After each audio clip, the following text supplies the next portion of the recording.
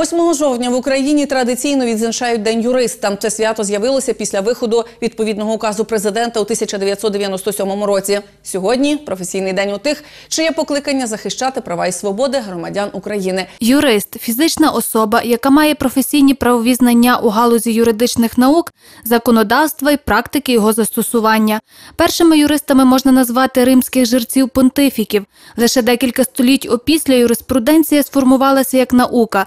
Зараз поняття юрист об'єднує всіх людей, що займаються різноманітною професійною юридичною діяльністю суддів, слідчих, прокурорів, нотаріусів, юристконсулів, адвокатів.